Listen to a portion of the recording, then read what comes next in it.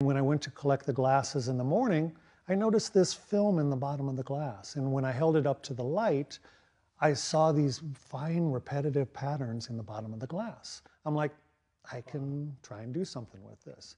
So tell me about the color. The, the whiskey didn't look like that. It did not. I put different colored lights, different colored gels in from behind. So that's what's giving the, the purple and the blues and the, the orange. And before you do that, what would it look like? It would look relatively whitish gray. So yeah, nature is giving me the pattern, I'm giving it the life. These days, he experiments with different kinds of drinking glasses, sheets of glass, and whiskeys from different parts of the world.